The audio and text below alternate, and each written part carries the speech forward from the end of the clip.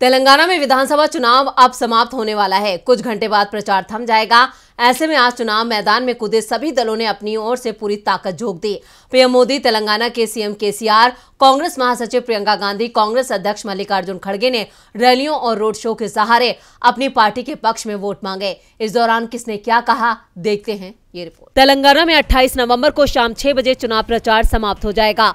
प्रचार समाप्त होने से पहले आज कांग्रेस महासचिव प्रियंका गांधी की एक के बाद एक तीन सभाएँ हुई। प्रियंका ने राज्य की बीआरएस सरकार के साथ ही केंद्र की मोदी सरकार पर भी जमकर निशाना साधा।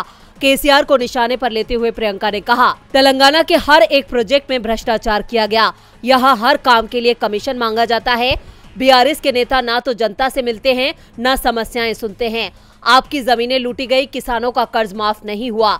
Land mafia, sand mafia, wine mafia, mine mafia सब बढ़ते चले गए।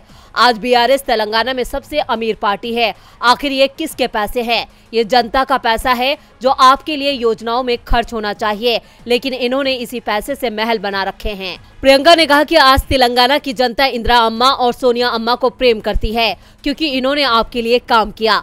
संकट में आपकी आवाज़ सुनी सरकार दो तरह से चलती है। एक सरकार जनता के लिए चलती है, जबकि दूसरी सरकार सिर्फ़ अपने फ़ायदे, अपने नेताओं के महलों को बनाने, भ्रष्टाचार करने और सत्ता में रहने के लिए चलती है।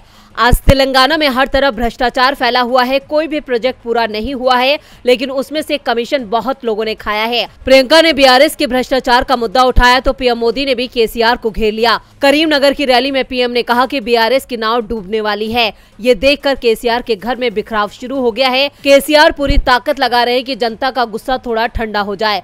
पीएम ने कहा कि अगर आप लोग कांग्रेस को वोट देंगे तो कांग्रेस का उम्मीदवार चुनाव जीतकर बीआरएस में चला जाएगा। आजकल बाज़ार में बहुत बिकाऊ माल आ गया है तो दूसरी तरफ़ केसीआर ने दावा किया कि कांग्रेस ने तेलंगाना के लिए कुछ नहीं किया। आम लोगों के लिए सबसे ज़्यादा काम उनकी सरकार ने किया है। डीबी लाइव की रिपोर्ट।